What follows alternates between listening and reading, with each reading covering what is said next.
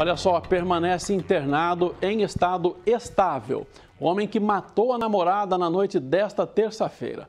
Ele já havia sido preso por agredir a companheira e ela chegou a se mudar para São Paulo para fugir do agressor. Nesta quarta-feira, ninguém foi visto na pensão onde o crime aconteceu. Assustados com a violência, nenhum vizinho quis gravar a entrevista. O feminicídio foi registrado na noite desta terça-feira. Carla Cristiane Ramos da Silva, de 31 anos, foi morta pelo companheiro Felipe Domiciano Vieira, de 29.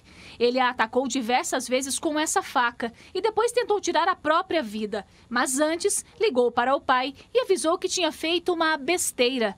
O homem então chamou a guarda municipal. Quando o pai chegou aqui no local, já se deparou com a cena. Ela estava em cima da cama, toda ensanguentada, e ele ao lado do corpo dela. Ao chegar na pensão, a mulher estava morta e o suspeito ainda com vida. Ele foi levado para o hospital Mário Gatti, onde segue internado. O pai da vítima esteve no local. Ele afirmou que o relacionamento durava cerca de um ano e que já tinham ocorrido outros casos de agressão. Felipe, inclusive, já tinha sido preso por conta disso. Pegar na mão de Deus aí, que a justiça do homem seja feita também. Ele sai de lá, vai para a penitenciária e paga ah, pelo feminicídio dele que ele fez. Porque a minha filha, ressuscitar ela, não tem como ressuscitar mais. Só Deus tem esse poder de ressuscitar. Mas ela tá.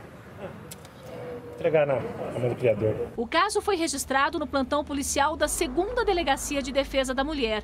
A investigação vai ficar a cargo aqui da primeira DDM.